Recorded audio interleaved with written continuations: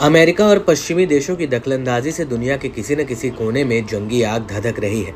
रूस, यूक्रेन युद्ध हो या फिर मिडिल ईस्ट में जारी सैन्य संघर्ष, वहीं उत्तर दक्षिण कोरिया के बीच की दुश्मनी में भी अमेरिका का बराबर हाथ रहा है। ऐसे में अमेरिका और उसके सहयोगी देशों के खिलाफ धीरे धीरे कई देश एकजुट हो रहे हैं। इसमें रूस, ईरान, उत्तर कोरिया सबसे आगे है।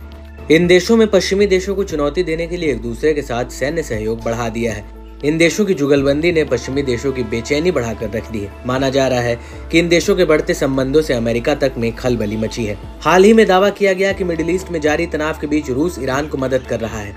ईरान ने रूस से अत्याधुनिक मिसाइल डिफेंस सिस्टम समेत कई हथियार मांगे रूस ने भी तुरंत हरकत में आते हुए तेहरान को अपने एडवांस एयर डिफेंस सिस्टम और रडार भेजना शुरू किया। रूस ने ये डिलीवरी ऐसे समय पर शुरू की है जब ईरान ने इसराइल के खिलाफ हमले की धमकी दी। माना जा रहा है कि रूस चुपके से तेहरान को शक्तिशाली एस फोर की सप्लाई भी कर रहा है। बीते दिनों रूसी सुरक्षा परिषद के सचिव सरजेई शोइगु तेहरान दौरे पर थे। ईरान और रूस की बढ़ती नजदीकियों से पश्चिमी खेमे में हलचल दिखाई दी। शोइगु ने ईरानी राष्ट्रपति मसूद पेजिशकियन से मुलाकात की थी। दावा है कि रूस अपने जंगी बेड़े से Iskander missile system S U fighter jet मरमंस B N electronic warfare समेत कई खतरनाक हथियार दे रहा है। इस बीच ईरान और उत्तर कोरिया की दोस्ती भी पश्चिमी देशों की आँखों में खटकने लगी है। उत्तर कोरियाई नेताओं ने हाल में तेहरान की यात्रा कर एक साथ अपने विरोधियों को कई संकेत दिए। इस पर अमेरिका की बौखलाहट भी उनके बयानों से साफ़ तौर पर झलकी। अमेरिकी विदेश विभाग ने कहा कि वॉशिंगटन ऐसी गतिविधियों के लिए प्रतिबंधों समेत सभी उपलब्ध उपकरणों का इस्तेमाल करेगा। मालूम हो कि उत्तर कोरिया और ईरान के मज़बूत संबंध पहली बार देखने को नहीं मिले साल 1980 के दौर में भी दोनों देश महत्वपूर्ण साझेदार रह चुके हैं। ईरान इराक युद्ध में उत्तर कोरिया की ओर से तेहरान को S C U D B ballistic मिसाइलें, पारंपरिक हथियार, ट्रेनिंग और मिलिट्री एडवाइजर मुहैया करा चुका है।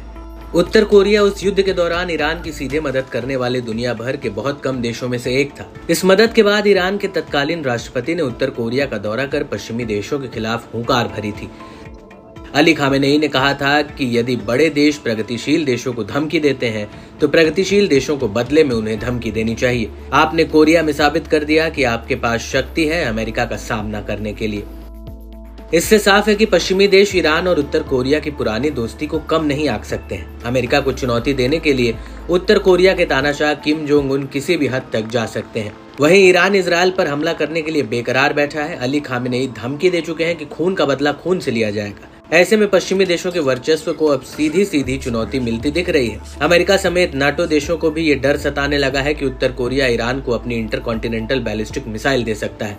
माना जा रहा है कि ईरान को मिसाइलें देकर उत्तर कोरिया अपनी मिसाइलों की लाइव टेस्टिंग कर रहा है कि वह पश्चिमी देशों के डिफेंस सिस्टम से बचकर तबाही मचान पाती है या नहीं।